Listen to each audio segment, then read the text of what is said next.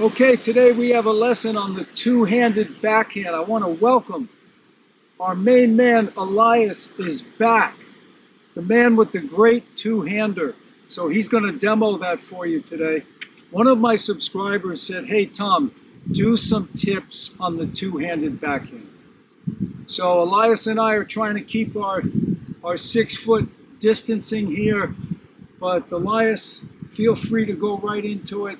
Talk about things that have helped you develop your two-handed. Sure, okay. So the first tip I want to offer is really focusing on preparing early. Too often we see players, the ball is coming and they kind of prepare last minute. So my tip for you is as soon as you see the ball coming, boom, your racket goes back, you're in a good ready position.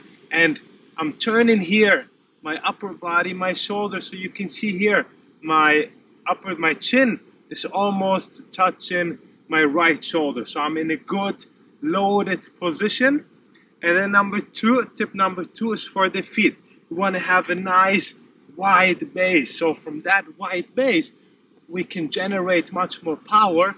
And then as we hit, shift our weight forward, focusing on contacting the ball all the way in front of our body, extending, making our arms long, and then coming over the shoulder while engaging the left hand a lot. Thinking of the shot as being led and being guided by our left hand. I like that point, Elias, you made about the uh, making our arms long. Talk about that a little bit. Yeah, so too often we see players they try to follow through. They're thinking then about maybe the windshield. Only wiper. the follow through. So now they're following through here, and a lot of their backhands are going into the net or kind of to the right or out short. or very short Yeah. because they're not getting the extension that happens from us hitting in front, lengthening, pushing our weight forward, and then, like I said, Show coming them, show over them the a shoulder. side view on that. So say you were hitting the ball that way. Okay, so you see here, the ball is coming. I'm getting ready. I'm split stepping. I'm preparing early. You can see here, I got a good shoulder turn, good wide base. And then as I'm hitting, I'm shifting my weight forward. And then I follow through over the shoulder. The ball is coming, split, turn the upper body. I'm stepping in. You see here, I got my wide base. Elias, do me a favor. Yeah. Go to the contact point for a second.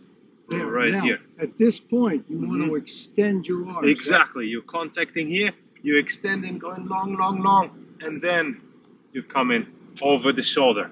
Like that, you're going to get more power as well as a lot of depth on your Depth, shot, yeah, which is really important for the backhand. Keep pushing your opponent long, developing the stable backhand you can rely on. Nice. And what about the legs? How do they come into play? Especially if the ball is low, right? You've got to. If the ball is low, we gotta Yeah. use our legs to come under the ball. Yeah. So you see here, I'm going in the knees. If the ball is low, come in there under the ball, and then lifting forward and a little bit. I like that. Up. I like the fact that he mentioned lifting, because you don't want to stay down. Sometimes you, you may have to do that if it's real fast. hmm But um, if you can lift, it's going to be better because you're going to you're going to get more height over the net, more depth. Exactly. Yeah. Okay, Elias is going to demo that for us. All right, let's All do right. it.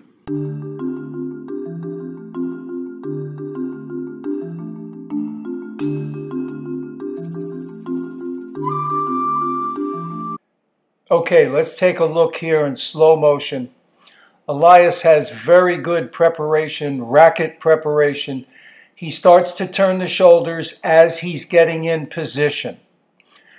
Okay, right here you're going to see he's looking over his right shoulder. The racket is well prepared. Now he's going to drop the racket down and start to lean into the shot. The weight is transferring to the front leg. Right now, the racket is below the ball. That's going to give him net clearance. Now, his arms are extending. That gives you power and it also keeps the ball on your target area. Finish, great finish over the shoulder, the weight transferred to the right leg.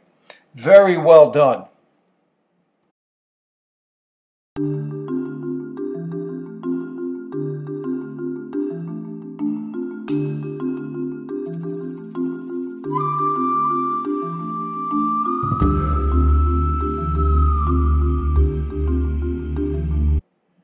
Okay, let's take a look in slow motion. Again, great preparation. As he's moving into position, his shoulders are turning. Right there, he's looking over that right shoulder. Now, this ball is low, so you're going to see how well he bends on this shot. Right there, he drops the racket down. Now, notice the knee on his rear leg, how much he's dropped that down. The racket face is closed, that gives him a vertical racketed contact. And notice how he lifted with his legs. His legs came back up, finish over the shoulder. Great job again.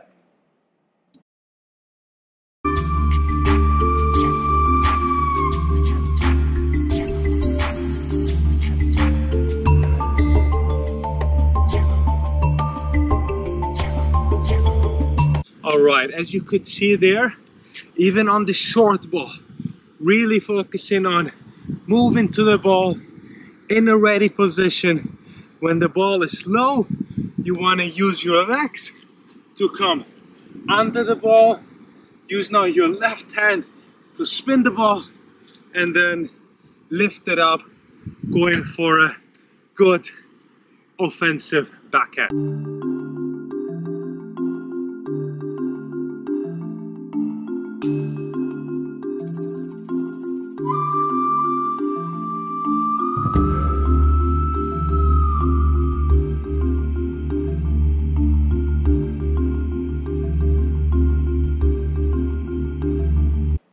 Okay, let's take a look again here in slow motion. Now notice as Elias gets in position, he starts to turn the shoulders and get the racket back. Now he's coming up on this ball, it's a short ball, and notice how he is looking over the right shoulder, okay? Now he's stepping in too with his right foot. Right there, the racket face is closed, and notice that rear leg, how low it is. From here, he's going to drive through with his left hand. Notice how his arms are extended. That gives him power and helps him to hit the ball in the direction he's aiming for. The finish again is great. Notice how he lifted totally. His front leg has come up and the racket is over the shoulder. Well done. Well, we hope you enjoyed that video. It's great to have Elias back. And what a great job. Nice hitting. Thank Very you. good. Thank Yeah. you. You know, I remember one extra tip. Okay. If you're there working on your backhand and you feel that sometimes when we're working on a new shot, I find that players tend to overthink it. So if you're the player who's overthinking the backhand, I would encourage you to pick one of the things we covered today and really work on dialing that part in, whether it's your stance Yeah. or your contact point, picking that one thing, getting good at it, and then adding another thing. Perfect. Great job, Elias. Please subscribe to the channel. Give us a like and a thumbs up. That really helps us a lot. All the best. Take care.